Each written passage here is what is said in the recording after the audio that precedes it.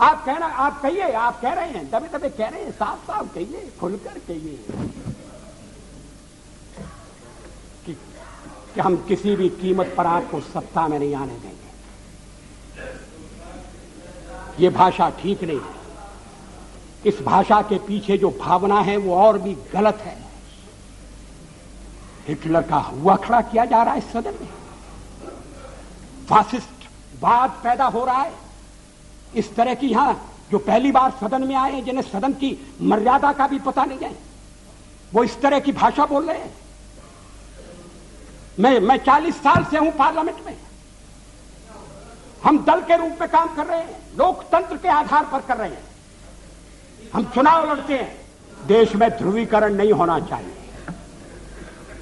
न सांप्रदायिक आधार पर, न जाति आधार पर न राजनीति ऐसे दो खेमों में बटनी चाहिए कि जिनमें संवाद न हो जिनमें चर्चा न हो देश आज संकटों से घिरा है। और ये संकट हमने पैदा नहीं किए। जब जब कभी आवश्यकता पड़ी संकटों के निराकरण में हमने उस समय की सरकार की मदद की है। उस समय के प्रधानमंत्री नरसिंह राव जी ने भारत का पक्ष रखने के लिए मुझे विरोधी दल के नेता के नाते जेनेवा भेजा था। और पाकिस्तानी उसे देखकर चमत्कृत रह गए। उन्होंने कहा कि ये, ये, ये कहाँ से आए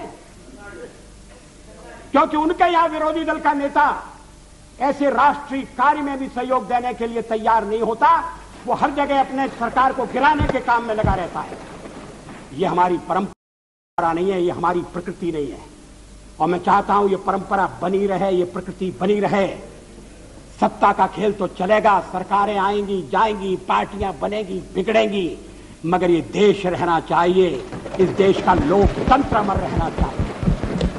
क्या क्या ये क्या ये आज के वातावरण में कठिन काम नहीं हो गया तो फैसला कर सकते हैं कि भाई हमने एक दूसरे को गाली दी होगी?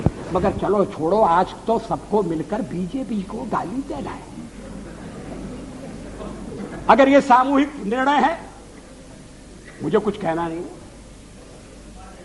लेकिन इस तरह का निर्णय नकारात्मक होगा, इस तरह का निर्णय प्रतिक्रियात्मक होगा, इस तरह का निर्णय केवल हमें आने से रोकने के लिए होगा, और ये लोकतंत्र को स्वस्थ बनाने वाली परंपरा नहीं डालेगा, ये आज मैं आपको चेतावनी देना चाहता ऐसे क्षण बार बार आए। सरकारें बनी हैं बदली हैं। नई सरकारों का गठन हुआ है। अभी बैचलर हो गया।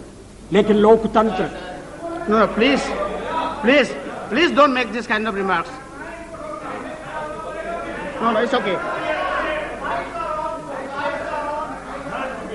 लेकिन हर कठिन हर कठिन परिस्थिति में से भारत का लोकतंत्र बलशाली होकर निकला है और मुझे विश्वास है कि परीक्षा में से भी बलशाली होकर निकलेगा।